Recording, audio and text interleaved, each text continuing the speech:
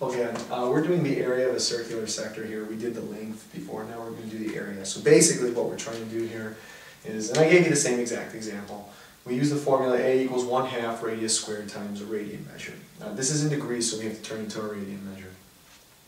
I've got this circle here, it's got a radius of four centimeters, and it opens up forty-five degrees. When I'm finding the area, what I'm basically doing, I'm basically doing, what I am doing, is I'm finding, you know, this little piece of the pie, the American dream, as it were. You know, how much does that take up? So, that's my attempt at humor. A equals one half. Now, the radius is four centimeters. When I do that, it's four centimeters times four centimeters. It's four squared.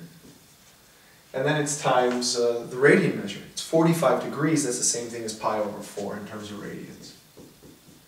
I wouldn't leave your answer in terms of pi, I know some teachers don't mind it, but that's just me.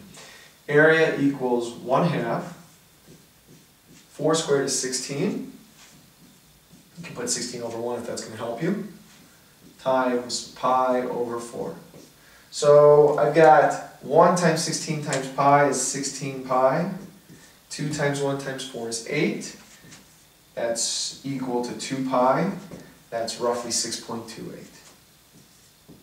So area equals 6.28 centimeters, and we're working with area, so it's always squared. So that's the formula for the area of a circular sector.